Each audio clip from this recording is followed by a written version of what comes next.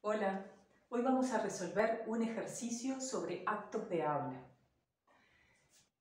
Los actos de habla se pueden dividir en tres, en acto locutivo, ilocutivo y perlocutivo. Es un análisis del lenguaje que es pragmático y que permite ver qué es lo que hacen las palabras en contexto.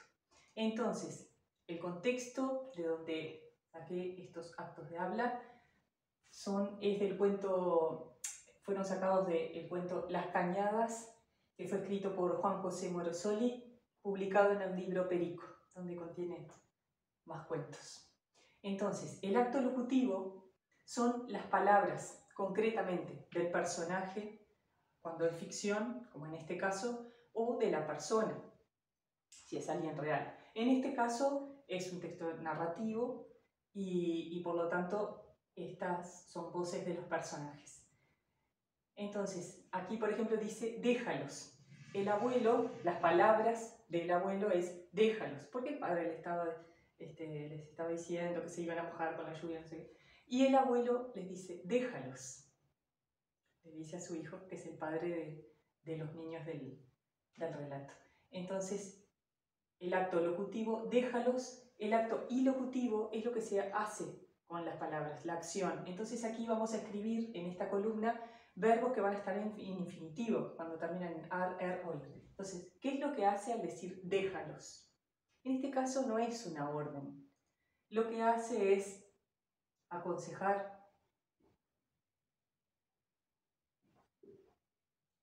podría también interpretarse como pedir. Son formas posibles, ¿sí? Ustedes se les puede ocurrir otra, pero ¿qué es lo que hace con las palabras? Entonces, ¿qué es lo que espera al aconsejar o al hacer esta petición a su hijo? Porque ve que sus nietos están disfrutando. Lo que espera es, en el acto perlocutivo, es la acción esperada a partir de estas palabras que hacen estas acciones.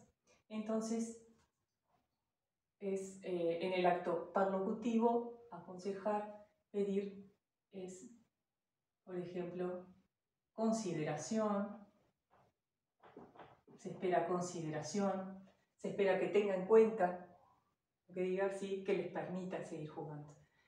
Después les dice, les dice, déjalos. Y este mismo personaje, que es el abuelo de, de los niños, dice, no son los botes, son ellos que viajan. Los niños están jugando en la lluvia, bueno. Entonces aquí lo que hace es explicar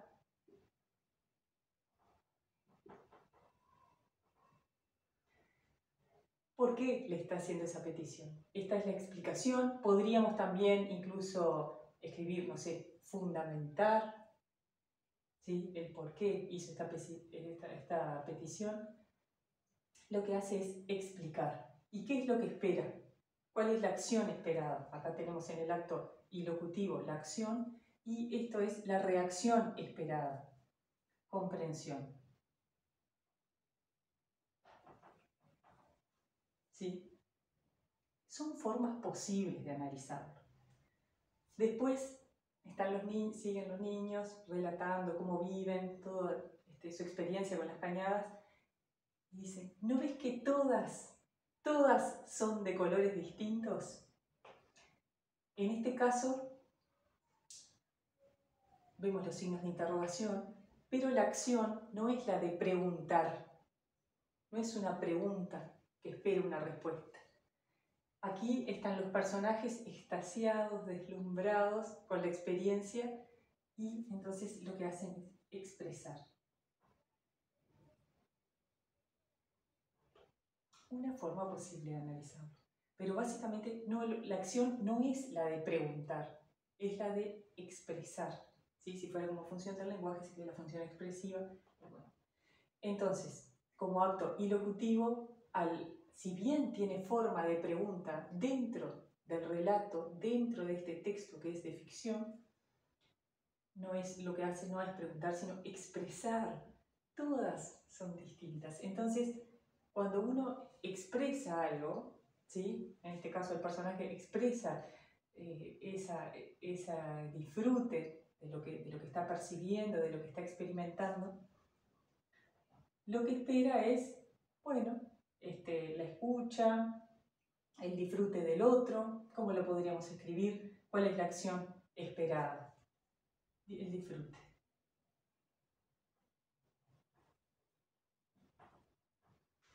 Yo lo analizaría así. O sea, el disfrute de todo eso que están percibiendo. Si les interesa escucharlo, el cuento lo, lo grabé en otro video. Si no lo pueden leer, es de fácil acceso. Se llama Las Cañadas de Juan José Morsoli. Bueno, espero que sea útil, que si tienen que hacer un ejercicio sobre actos de habla, que esto facilite. Reitero para, para cerrar, el acto locutivo aquí va textual, lo del personaje, en caso de que sea ficción, por ejemplo. En el acto ilocutivo es el hacer de las palabras, vamos a escribir verbos, vamos a elegir un color, en infinitivo, por ejemplo, aconsejar, pedir, explicar, expresar. Y estas son las acciones esperadas. Entonces, por ejemplo, si cuando el abuelo le dice, déjalos, el padre le dice, ¿quién sos vos para darme consejos? Que vos ya me criaste a mí y estos son mis hijos, ocupate de lo tuyo. Bueno, no, no es la acción, no, no es lo esperado. Lo esperado es que considere lo que él está planteando. Entonces, no, tampoco somos responsables de las reacciones de los demás, ¿no? Entonces, ahora sí, de esto esperado. Espero sea útil, Dios.